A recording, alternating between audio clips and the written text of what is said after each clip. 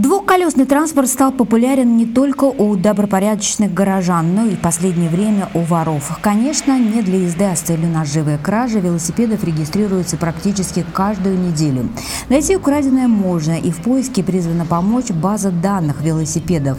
Елена Хайрулова сейчас пешеход, но велосипед, говорит, есть для поездок на дачу.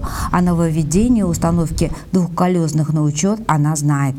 Слушала, почему нет, можно, да. Сами-то вы заполнили анкету? Ну, нет, не заполнила. Времени нет. Ну, не знаю, как-то сейчас не думала об этом. Вообще надо, конечно. Для регистрации велосипеда нужно заполнить вот такую анкету. Бланки можно получить во всех опорных пунктах участковых уполномоченных полиции и в самом межрайонном отделе МВД России Димитровградский. Владельцам двухколесного транспорта предлагают занести сведения в анкету, указав помимо своих личных данных марку велосипеда, цвет и номер рамы.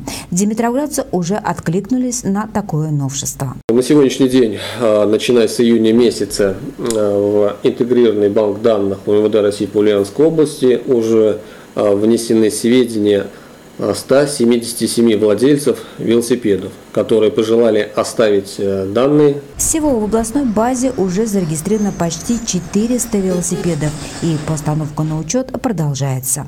Арина Макарова, Анжелика Барвино, Константин Белов. Наше время.